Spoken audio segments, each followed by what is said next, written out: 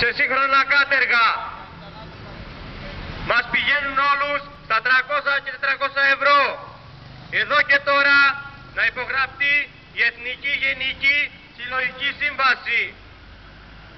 Η επαναφορά του κατώτερου μισθού στα 751 ευρώ στην Εθνική Γενική Σύμβαση Εργασίας ως βάση για συζήτηση και διαπραγμάτευση για αυξήσεις. Υπεράσπιση των κλαδικών συμβάσεων και πάλι για την υπογραφή νέων με βάση τους κλαδικούς μισθούς που προβλέπουν οι κλαδικές συμβάσεις.